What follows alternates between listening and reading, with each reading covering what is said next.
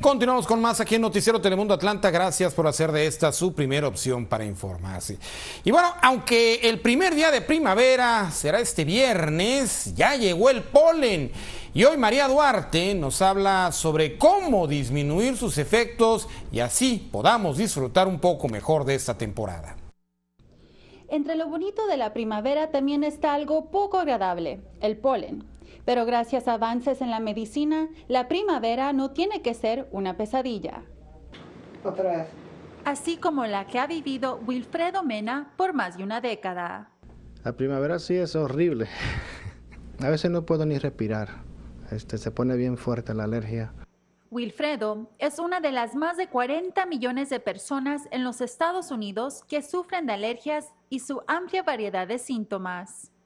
Alergias puede dar tos y congestión y líquida de la nariz, también agua de los ojos.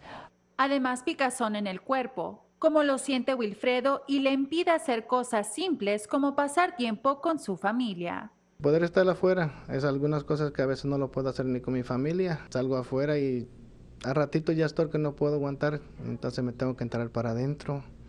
Un alto índice de polen se considera cuando sobrepasa los 1.500 partículas por metro cúbico.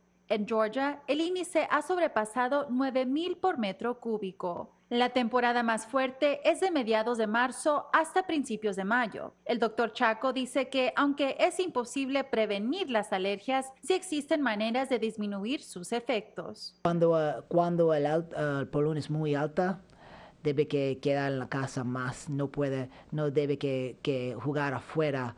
Cuando es necesario salir, al regresar se debe cambiar de ropa o bañarse para quitarse el polen que lleva en su piel o cabello. Cuando esté en su casa o en su coche, mantenga sus ventanas cerradas. Además, se recomienda el uso de antihistamínicos o esteroides nasales para sus síntomas. Pero si sufre de alergias crónicas como Wilfredo, existe una nueva opción. Y, um, hay inyecciones, pues casi curar las alergias. Muchos meses este, inyectándome, eh, se ha ido mejorando, pero como es un transcurso del año entero, este, con el tiempo esperemos que no tenga que sufrir tanto.